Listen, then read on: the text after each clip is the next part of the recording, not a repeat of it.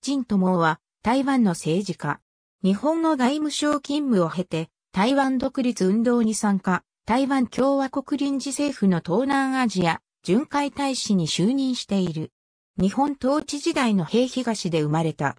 高中の卒業を待たず、日本へ留学。青山学院高等部で学び、その後東京外国語学校オランダ語学科に進学した。卒業後は日本外務省に就職する。当時は太平洋戦争開戦直後で日本軍が占領した英蘭植民地の統治に必要な人材が不足しており、英語、日本語、オランダ語、マレー語、台湾語、北京語に通じていた陳をインドネシアに外交官として派遣した。日本の敗戦とともに外務省を離れ、インドネシアで企業、オランダ国籍の女性と結婚している。この時期それまで植民地として統治されていた各地で独立運動が活発化し、インドネシアもスカルノを中心に独立軍が組織。これらの独立運動に賛同した陳は、日本軍が残した大量の武器を独立軍に提供し、インドネシア独立を支援した。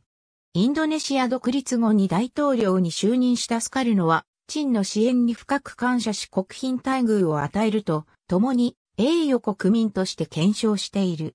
インドネシアでの独立運動を目撃した陳は、次第に台湾の独立を追求するようになり、東京において設立された台湾共和国臨時政府大統領、両文武の要請を受け東南アジア巡回大使に就任、台湾独立運動への活動が始まった。陳の人脈により両は1955年にインドネシアで開催されたバンドン会議の参加に成功している。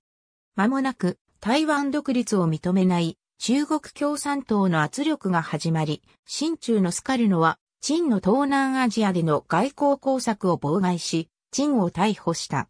陳は、獄中で独立運動での役割を記した新書をスカルノに送り、それにより釈放された。その後訪日し、両文武との合流を計画するが、日本政府は無国籍であった陳の入国を拒否する。